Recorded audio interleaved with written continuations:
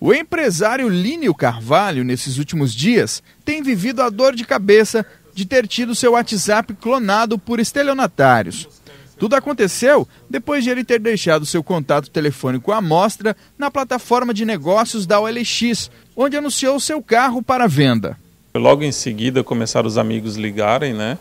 É, já com uma pré-intenção, falou, eu acredito que seu WhatsApp foi clonado, alguma coisa parecida, que estão pedindo dinheiro aqui. E e aí eu, foi cair a ficha que clonou. O empresário conta que, além dele, outros amigos também já foram vítimas desse tipo de crime. Teve três amigos que tiveram o mesmo processo, né? então acredito que esse modus é muito igual.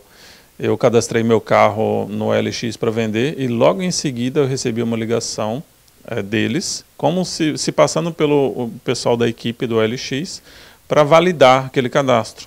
E eu acredito que muitos acreditam nessa conversa porque é como se fosse uma medida de segurança, né? E naquela conversa confirmando os dados que estão ali no LX através do telefone, porque o grande problema é você cadastrar o, o, o talvez o, o, bem lá no LX e deixar o seu telefone à mostra. Né? Então não deixe o telefone à mostra. E aí eles confirmando os dados e naquela correria você falando, fazendo duas, três coisas ao mesmo tempo, é, eles pediram um código que enviaram para o telefone. E esse código é o código para liberar eles a, a, colocarem no WhatsApp Business lá, transferir o meu WhatsApp para o WhatsApp Business. É dessa forma.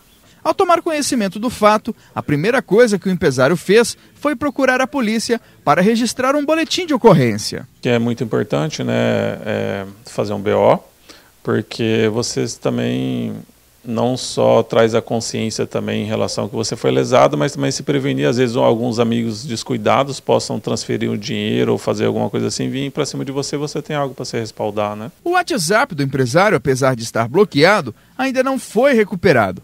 Ele está tendo que conviver com esse transtorno temporário ocasionado pela ação dos criminosos. Porque ele não tinha confirmação dupla, então os estelionatários eles fizeram essa, toda essa confirmação dupla para ficar de posse do, do WhatsApp. E através do e-mail eu consegui pedir o bloqueio, bloquearam a linha, mas eu preciso agora de sete dias para ter a possibilidade de reivindicar o meu WhatsApp de volta. Sobre a ocorrência de qualquer tipo de crime, seja ele de menor ou maior grau, procuramos o delegado de polícia para nos esclarecer sobre o porquê é importante que o cidadão registre uma ocorrência policial. Em primeiro lugar, é preciso esclarecer que todo direito é tutelado pelo Estado. Né? O cidadão não pode fazer justiça pelas próprias mãos. Desde logo, o primeiro mecanismo neste viés é a busca por um registro oficial do que aconteceu você tem é, alguns viés que são considerados nesse sentido é, do registro da ocorrência policial.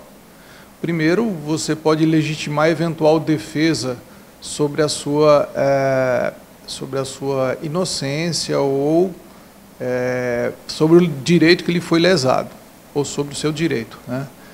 No segundo momento, a notícia registrada, o Estado tem que agir de ofício, em regra, para esclarecer o crime. O que não é noticiado, que é tido como cifra negra.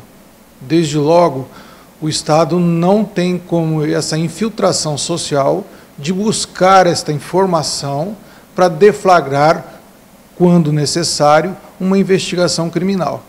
Então, a ocorrência policial ela é o início tanto de defesa da pessoa quanto de persecução daquele responsável por uma atividade criminosa. E também a busca eventual por um direito de proteção civil.